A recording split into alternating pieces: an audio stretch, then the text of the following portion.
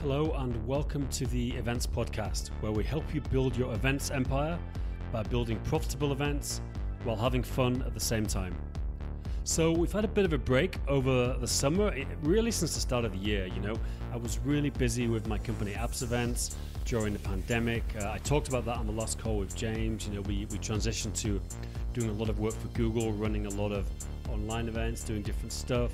Um, so, I was just really busy, but I've really missed doing the events podcast, and we're still getting great views. We're actually a top 10% of all podcasts in the world still, which is amazing as it's a very niche thing. But I want to say a couple of things. Firstly, if you enjoyed the podcast, please get in touch with me. Like, uh, most people don't give me any feedback, and, and, getting feedback really encourages me to make more episodes. Just email me at dan at appsevents.com, D A N at appsevents.com. Even better, if you can give us a review, uh, anywhere you listen to the podcast, please stop right now in iTunes, Spotify, Pocket Cast, wherever you are, and please leave us a review, if possible, five stars, of course. Would be great. Back to the podcast. So, we, we really focus on helping event entrepreneurs run amazing events. And that could be people who run events companies, but also just as many people, maybe more, are entrepreneurs who just run events as part of their business. You know, they might run events to promote something else, they might run meetups, they might run one big conference a year. This is the kind of people I want to help, you know, because I, I, run events myself. So, you know, this podcast is kind of like therapy for me where I get help and assistance on how to run the event. So please, again, leave some feedback. Uh, and secondly, obviously, there's a lot of costs associated with this podcast. I've got two people who help me out with editing and graphics and everything else. So, if you're a sponsor, possibly you're a software company who um, sells to the event industry, then and you're interested in sponsoring this podcast, like I said, it's a top 10% podcast. Please get in touch. Uh, we'd love to talk to you, dan at and it, it'd be great to talk. So, thank you very much. Uh, and now on to the interview. Hello and welcome to the Events Podcast. Today I've got a bit of a different episode. I'm talking to Gerbz, uh, G E R B Z if you're English, Z if you're American, and he's calling from Boulder, Colorado. And we actually met once or twice. We're both in a, a group called the Dynamite Circle. It's like an entrepreneurs group. I've mentioned it before on the podcast. And Gerbz is really into crypto, and he has been for a few a few years. So we're going to talk a bit about you know maybe taking payments for for your for your events or for things in crypto. And then we're just gonna have a general talk. So one of the great things about doing this podcast is I can talk about stuff that interests me, you know, and I want to do more entrepreneurship episodes and just things on the fringes of, of what I normally talk about. So, uh, Gerbz, welcome to the podcast. Yeah, thanks for having me, Dan. I want to talk about background. I've, I haven't. It's a good time to tell you this. I've actually got a bit of an old school crypto background. I uh-huh. uh, I went to what I think was the first ever. I mean, I might be wrong about this, but I think I went to the first ever Bitcoin meetup in the world. Whoa! When yeah, when so would that have been? It was in 2012, and it might have been another one, but it, it, was definitely the first kind of conference. It was a weird situation. I was I was lying in bed. I was single at the time. You know, a bit of a hangover on Saturday morning, and I had Wired magazine. I don't know if you know Wired the magazine. Yeah. And it had this article about Bitcoin. I was like, wow, this is amazing. You know, like what is this Bitcoin? So I, I got on laptop and I saw this is not not a word of a lie, hundred percent true. I saw Bitcoin conference in Prague where I lived, oh, starting right. right away. So I messaged the guy, "Can I come to his conference?" He's like, "Yeah, come along. Yeah, you can have a cheap ticket." So I went there, like literally, like two hours later, I was at, I was at this event. Never heard of Bitcoin before in my life, and there was a bunch of people there. Uh, you probably heard of Max Keiser. He's got yeah, the Keiser sure. report. So yeah, Max Keiser hanging out with Max Keiser, went drinking with him, and and he's referenced this as his first ever Bitcoin event. So that's why I think it is the first one the guy called Simon, I forgot his last name. The guy does Bank to the Future. I don't know if you've seen that guy online. Simon Payne, I think, maybe. No, yeah. Simon Payne's from the DC. Oh Simon, yeah, yeah, yeah. Simon, uh, I, I, will come to me in a minute. But yeah. um, a bunch of people, and it was really interesting. So I kind of found out about it, Bitcoin before a lot of people. I think. I think there was a lot of people with 2013, 14, but I, I got into it early, you know. So that that was kind of interesting how I got started with it. So it's just you, and Satoshi, you, you, and Satoshi and Max sitting around uh, talking yeah, exactly, Bitcoin, huh? Yeah. Could Satoshi could have been there. You know, it was probably like probably 60, 70 people there, something like that. I mean, it was it wasn't like it was one conference room in this kind of crappy hotel in Prague, and you know they definitely hadn't sold it out. You know, the guy it was just one guy who was running it. Uh-huh. I, I, don't even. I should check out his name actually. Cause i have I've got the I've got on my email. I could have a look. Yeah, yeah it, it, was it was weird. You know, a lot of people there. Was, so that was really. But what about you? Like, what, first of all, like, what, what's your background just generally like, and then what's your background in, in crypto? Sure. Yeah, I, have been in crypto since 2013. I, I kind of got to it for, in a strange way that most people in crypto today come at it from the investing angle. But yeah. I'm a I'm a web developer and an online entrepreneur, And I came at it because I was looking to solve the online payments problem. Yeah. You know, I, I was running an e-commerce project at the time and I just hated how I was just beholden to these payment gateways and they were, you know, bending me over for fees and it was just really bad. And I was looking like, why couldn't someone just pay me? Like, why do we have to jump through so many hoops? Yeah, yeah. And I stumbled into Bitcoin that way. Yeah, that, that was my entrance point. And I've just been using crypto in my business since 2013. A lot of people have just been like investing, but uh, I've I've really been kind of leveraging it to, to do, especially international payments and online payments. Interesting. Now, I mean, I kept the one of, I mean, obviously, this podcast, a lot of people run events. A lot of them are not big time conference producers. They maybe run events as part of their part of their business. You know, they're sure. entrepreneurs generally. But I mean, what what's the realistic way about accepting crypto for payment? And is is it worth it from the point of view that so many people now are just holding, you know, and, and, and thinking about the long term? Is it mm-hmm. is is it like in Europe? I mean, this is a very general question, but is it even worth getting crypto pimps? Because do people want to part with their crypto and pay for things? Yeah, I mean, def- I think it definitely is worth taking it. What I the route that I probably wouldn't advise is like tr- like trying to get all of your attendees to pay you in crypto. Well, yeah. But when someone comes to you and says, "I want to give you Bitcoin," you got to be ready to take it. I yeah, think that's yeah, maybe the way to think about it.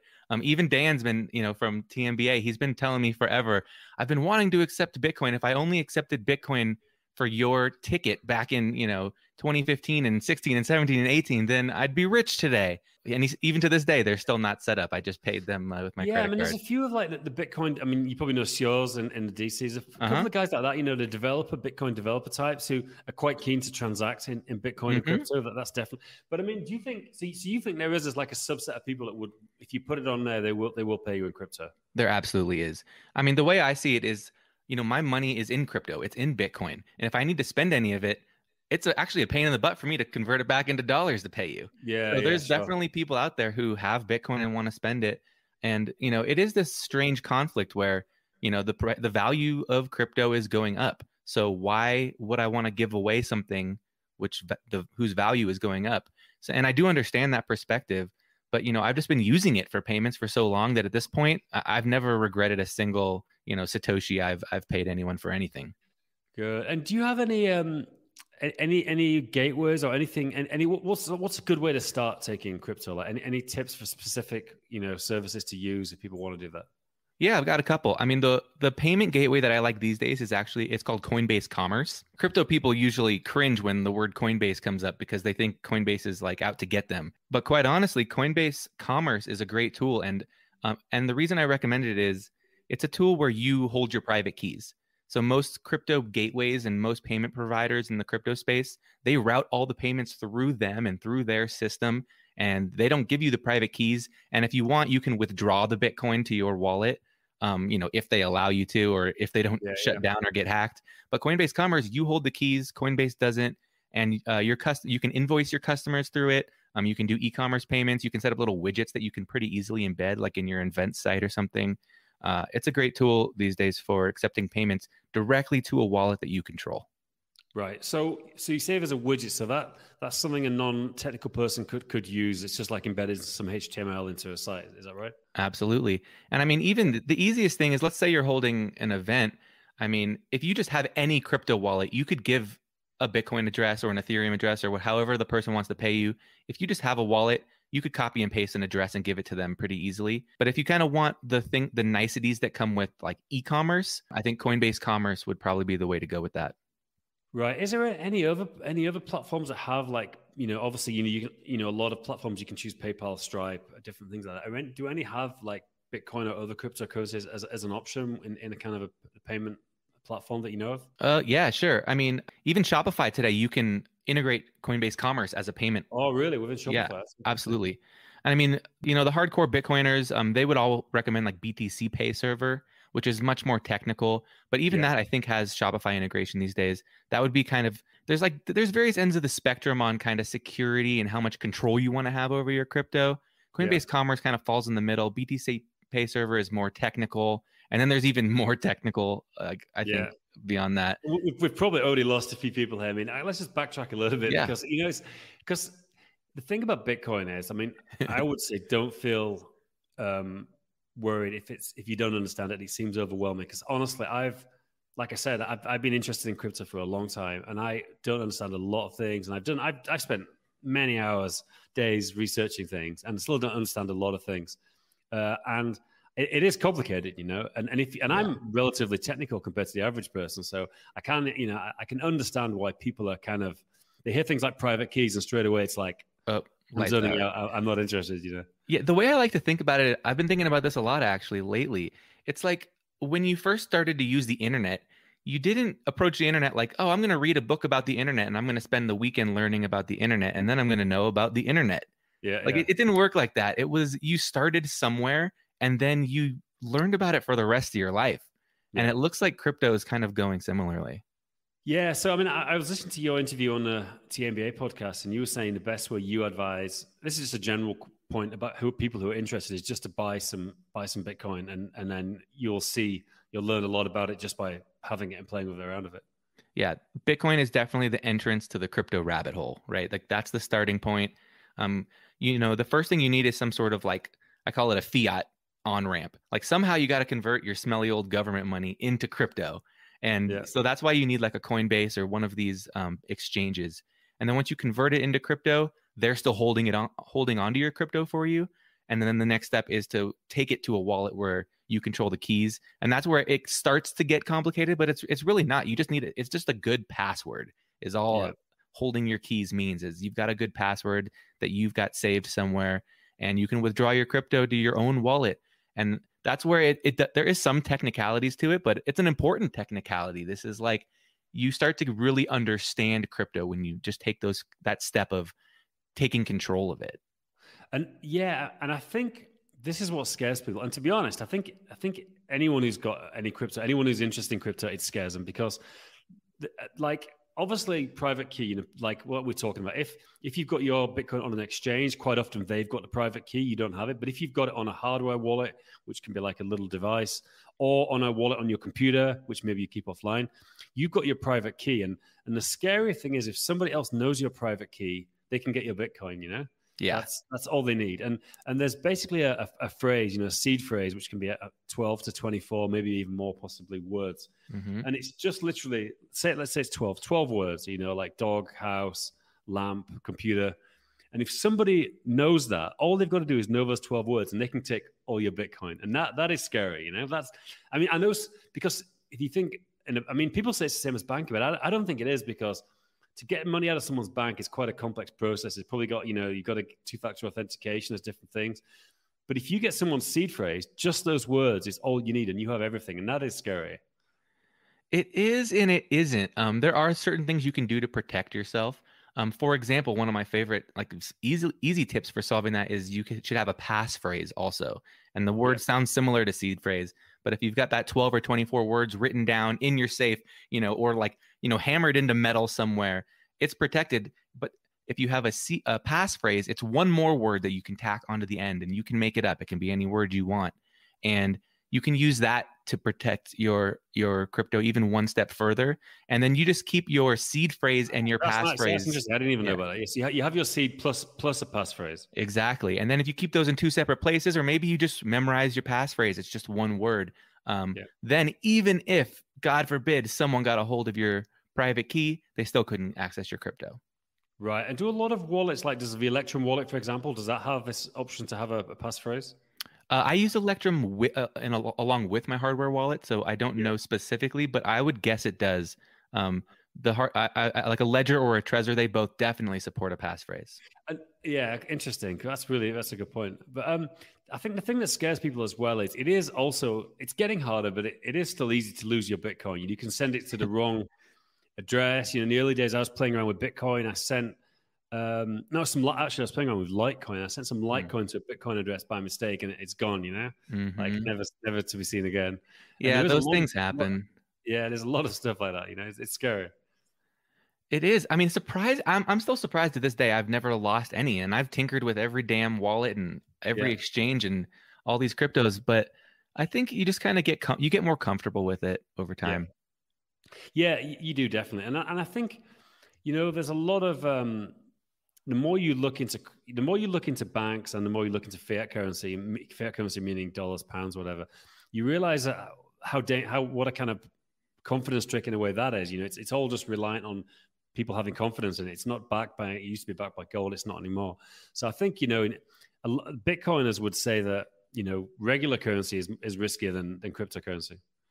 Yeah, I mean, I would tend to agree with that. I mean, we work so hard for our money and we never even see it. Like, if you have a job, like the money goes from your employer to your bank and it never even flows through you anymore. Like yeah, your bank yeah, holds yeah. Uh, your bank gets direct access to your money. That's why they're always pushing direct deposit, right? It's because they don't that one day of like where it's sitting in a check that or in the form of a check, like that one day is them losing money because the, your money isn't in their hands yet. So uh. Banks, eh banks are scary, man. Oh yeah, and, and yeah, I mean, I don't trust banks at all. I mean, if you look here in Czech Republic, they've got you know the the you you you know you use a contactless payment anywhere. Now now you've got it on your phone and watch and everything, and mm-hmm. like money's on the way. Almost everything. I mean, I, am guilty as anyone. I just I almost don't use cash for anything anymore. You know, yeah. I'll, I'll, buy like I went to buy some milk, like you know, fifty cents, and I paid. I just paid with my contactless thing. You know. Yeah. I mean, with the Amazon, Amazon's testing that thing right where you can just walk out of the store and it just knows who you were that, and you could just pick things up off the shelf and walk out and it, it tracks you. I mean, that's that's incredible, and I mean that that is incredibly convenient. And yeah. what I've been, uh, you know, Michael Saylor, ever since he came on the scene, he's had so many like incredible insights. Um, if you aren't familiar with him, he's he's the CEO of uh, MicroStrategy. Yeah, and he's been talking a lot about Bitcoin. And one of the things that you know, I I mean, I came into this space from that payments angle, and I've been wanting to see crypto used for payments more and more over time. Yeah. And we've actually seen that happen less and less over time, which is really interesting. But I mean, he makes a good point around. He says, you know, crypto will never be as simple as tapping your Apple Watch at the checkout and walking out the door. He's like, yeah. it's not designed to like uh, like let Visa and Mastercard let them rule the world of these tiny like one two dollar even $100 payments that you make all the time, but 99.9% of your money is in your bank account or in your investments or sitting somewhere else. And yeah, so Bitcoin's yeah. not trying to solve the problem of like everyday microtransactions. It's trying to solve the money problem. And that's a much bigger problem. Definitely. Just, just to take a step back to what you said about the Amazon store. I don't know if you've mm. seen this. I, I went to a sports store yesterday and bought a couple of things. And now they've, they've got these bins by the till. I don't know if you've seen this. Literally, no. you put everything in the bin and it just automatically from some kind of sensors in there tells you the price. You just it's like a big basket. You just throw it all in the basket and it tells you the price straight away. Oh, that's cool. Yeah. I mean, these things it's getting so easy. Like you they don't even want you to think about payments anymore. No, exactly. Yeah. It, it's true. And and you know, and the other thing is the banks. I mean, like if you do any kind of research about a lot of the crap banks have got up to, you know, I mean, you know, HSBC was actively working with Mexican cartels to, to launder all their money, and that, yes. that's not a conspiracy theory. You can read about it, you know. Uh-huh. And, and the, the, more you read about it, there's there's multiple stories about that. You know, it's it's like, you know, they're not. We think of them as some kind of like quasi-official institution, but it's just really a private company. And even though they're regulated, it doesn't really mean much in terms of how safe your money is, in, in my opinion. Yeah, I mean they illegally make hundreds of millions of dollars or billions of dollars, and then they get fined tens of billions of dollars for it. So yeah. the incentive for them to just lie, cheat, and steal is so good that they're they just like forget it. Let's let's let's steal. Yeah, and, and every year something comes. You know, they were manipulating the LIBOR rate and different things. I mean, I mean that that's that's kind of I think the thing that turns a lot of people onto crypto. You know, is just yes. the more you read about banks and and what they do, it, it you'd like to exist in a world you know without them if possible. Yeah, I think so. And I mean, even coming back to the payments thing a little, um, you know, most people are familiar with using something like PayPal or something. And yeah. if you run if you run a big e-commerce operation, I mean, this payment provider, they're t- they're the fees. You know, they always promote like, oh, three percent plus, you know, ten cents, and and and no one really balks at that. Um, but when you start to get to scale, first of all, that's that's like PayPal owns three percent of your company yeah. right? Because every payment that flows through your business, they're taking before it even reaches you, they're taking their cut. They might as well own a big chunk of your company. It's so unbelievable. It's I mean, we, we take payment through PayPal. And one, one of the things we do um, through my company Apps Events, we, we resell Google Workspace you know, to schools. We work with schools. Mm-hmm. And so we had a customer wanted to pay us with PayPal. And then what happens is we get paid by the school, we keep 20%, and then we, we pay the rest on, you know? So we thought, so we only keep 20%. So we're going to lose it's actually close to four percent from PayPal if you yep. include everything. So we're actually going to lose um, 20% of our profit because because our whole profit is only 20%, you know, right. You know, so it's like, it's crazy. Like, so just from that, we could lose like, you know, 20% of the profit, you know, it's, it's ridiculous. And a simple concept like that is, and that that's why Bitcoin is growing or that's why crypto is growing. People are looking for solutions to the, that specific problem, I think. And that's why I think entrepreneurs get the crypto, um, like advantage immediately. Like they, yeah. they, they hear this and they see this and they're like, oh, I don't have to pay 20% of my profit to uh, my payment provider, I'm in. Like I'll jump through whatever hoops it takes. Definitely, but but could couldn't Bitcoin actually be uh, a payment solution? I mean, obviously, there's the whole debate about is it a store of value or payment, but you know, there's a lot of technical reasons why people say it, it, it would be very difficult to scale it. You know, right yeah. now, do you have any opinion on that? I do. I mean, you know, back when we started in crypto, it, it, was free to use Bitcoin. It was like a fraction of a penny. You could fling it around all day, and that's because oh, just you know, you, me, Satoshi, and Max Keiser were the only people uh, using Bitcoin, right? It, and what happened was, as as it's grown, you know, uh, scaling has has turned into a problem. So you know, Bitcoin has this thing. Um, the blockchain is built of blocks, and these blocks ha- have a finite amount of space in them. So every 10 minutes only a certain amount of transactions can happen on the blockchain and it's it's restricted in that way for for a reason is to allow bitcoin to to remain decentralized. Um, and now that bitcoin is popular everyone's using it. These blocks are full. They're overflowing. Yeah. and if you want to get your transaction through on the on the bitcoin network you gotta you gotta up your fee. It's like a little auction every 10 minutes to get your transaction onto yeah. the chain. And yeah, I mean, it, now the blocks are full and they've remained full. I mean, there's something weird going on right now, this moment with everything. It's really easy to use. It's cheap to use Bitcoin right now, but we'll we'll be back full again in no time. And what, what's what gonna about the yeah. Lightning Network? Like, what's the Lightning Network, and how can that enable payment? And, do you, and what do you think of it?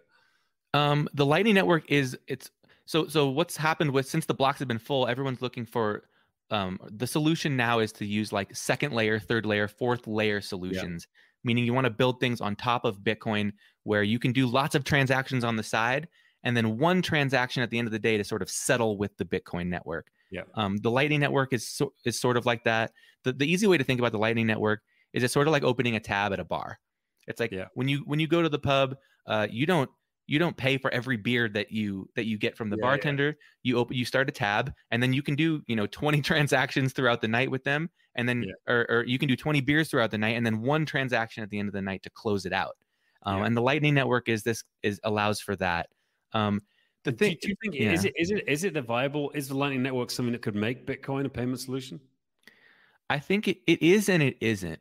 Um, the uh, the thing is lightning is very complicated. You think bitcoin is complicated? Try yeah, try using lightning network man. Yeah. and i mean some of these apps that uh, enable lightning payments um they're they're custodial apps meaning these app developers are are holding your crypto for you. And that was the whole point of getting into crypto in the first place was to avoid some of those troubles. So uh, that's why i say it is and it isn't. Like it's a way to use bitcoin and for bitcoin to scale but it comes with some some drawbacks Definitely.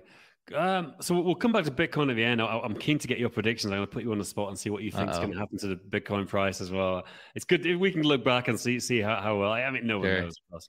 What what about the other cryptocurrencies? I mean, that's the thing that freaks people out. Let's say they set up an account on Coinbase or Bitstamp yeah. or one of these, and there's just like a million. I think a lot of people think, well, I'll get a bit of Bitcoin, I'll get a bit of Ripple, or but I mean, there's there's I don't know how many currencies are there at the moment. I mean, there's probably thousands or maybe tens of thousands and a huge percentage of scams and a huge percentage I think are going to go to zero.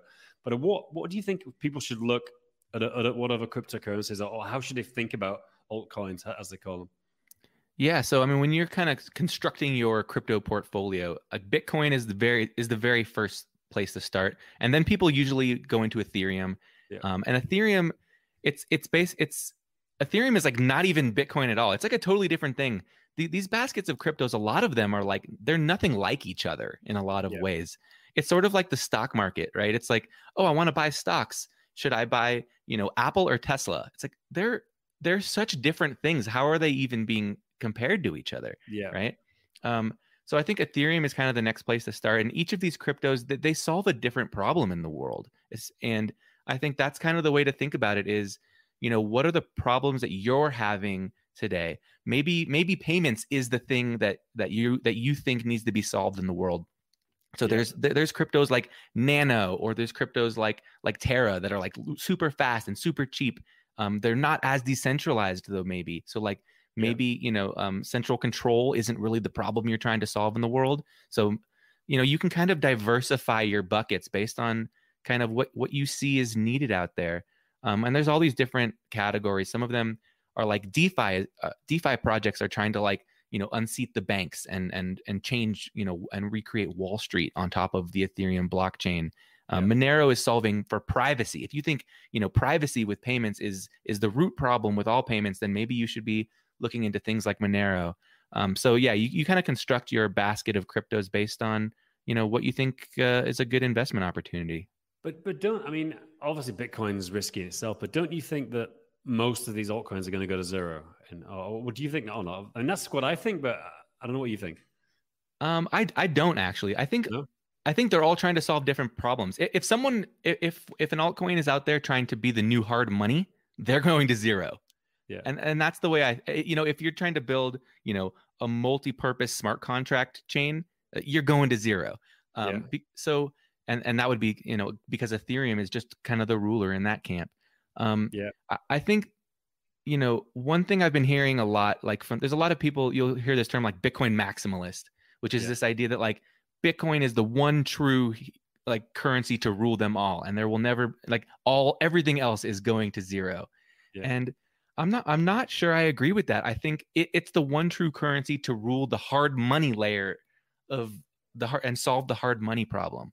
But mm, as you know, there's a lot of problems in the world, and I think there will be a lot of cryptocurrencies to solve them.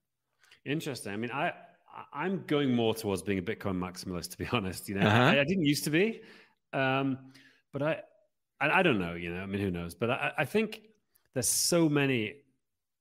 uh, Okay, I think some will survive, but I mean, let, let's say there's like like privacy. I mean, I don't know. There's Pirate Chain. There's obviously Monero. There's probably a hundred others. Yeah, Like, they can't all succeed. You know, like No. one might succeed. So okay, m- maybe Monero succeeds, but I think the rest are going to go to zero. I, I don't. I could be wrong, but that's that's how I see it. You know. Yeah, and I mean, and the the Bitcoin maximalists will say, you know, if the Monero technology is sound and if this gains amazing traction, then we can integrate these privacy features into Bitcoin in the future. But Yeah. what we've seen is, you know, Bitcoin is sort of calcifying. Like, th- there's no way Bitcoin's adding any more features ever at this point. Yeah. Like, it's it's it, they're trying to remove features. uh, I think so. I, I I just don't see that as being as being the route forward. And things like privacy, for example, I mean, it could happen maybe on a layer two or a layer three. And quite Yeah. honestly, are these not new altcoins? Like, is uh, and this this you know a max a Bitcoin maximalist would argue this to the death, but is Lightning in a lot of ways not another altcoin? Like, it's Sure. actually it's you're moving L LBTC on top of the the Litecoin network. It's Yeah, yeah. complicated, but it's just it's not Bitcoin. Yeah.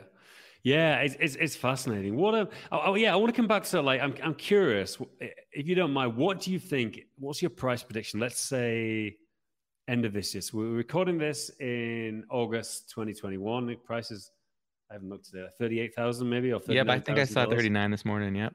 What, what what do you think is going to happen? And, and and you can give us some context if you want. I mean, you talk Sure. about the halvings and how you see it. I mean, and and what? Okay, answer that, and then I've got another question. oh man, but you threw the thing. You can talk about halvings. I could talk about that for, for all day.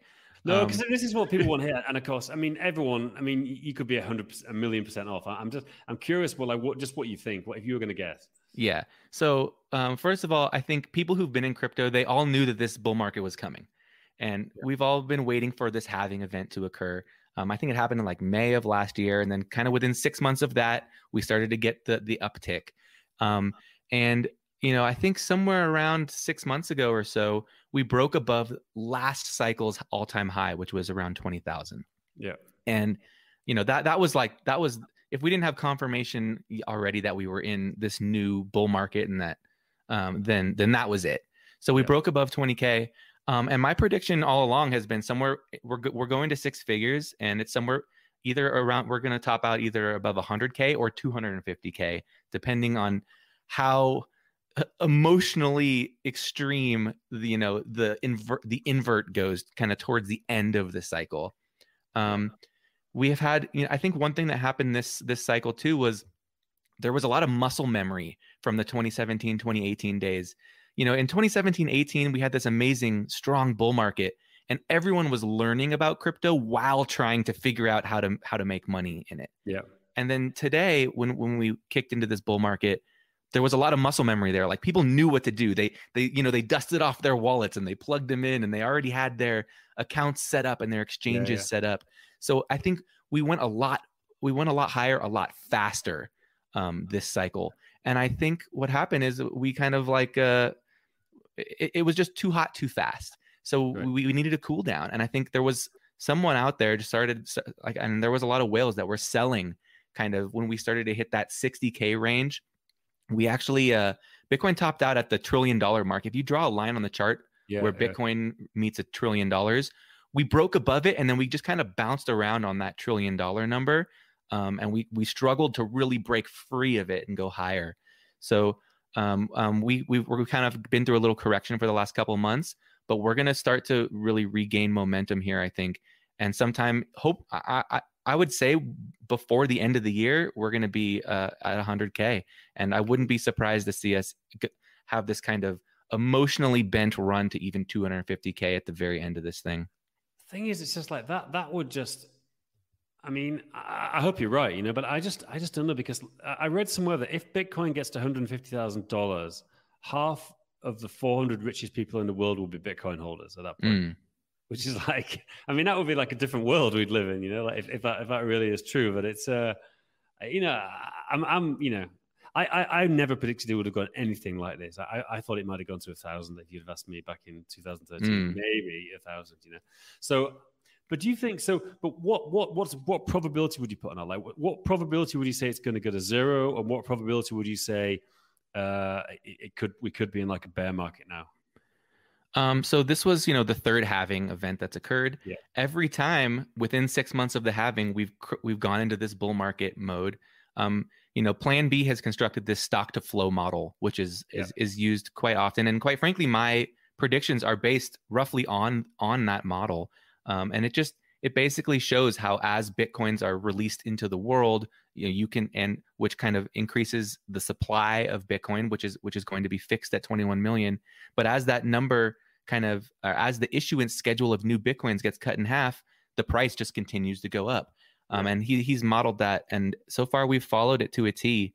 Um, uh, so yeah, I mean that that I I, I definitely look at that, but it, it can be busted. So there's this big yeah, cycle yeah. or this big uh, theory right now. Is people call it like the Bitcoin super cycle theory, and yeah, the the idea is that we've kind of we've broken free of this previous stock to flow model that we used to have. Bitcoin has matured. These halving events are not going to really have as much of an impact as they used to have, and maybe now we just start to have kind of more like smaller, tighter bull and bull and bear markets as opposed yeah. to this monster four year cycle that we've been when's the next halving scheduled for like roughly? Do, we, do the people know when it's coming? Sure yeah yeah 2024 uh, I believe because I think wait so May uh, oh so if it, it was if the last halving was May of last year that was 2020 so yeah 2024 should be okay. the next one. Cool. And and and and do, and do you see any any possibility it's going to go to zero? I mean in your opinion. Oh zero. No way man. Cat's out of the bag yeah. no putting not it back even, in. Not even that another cryptocurrency could take over from Bitcoin and, and it could be another one.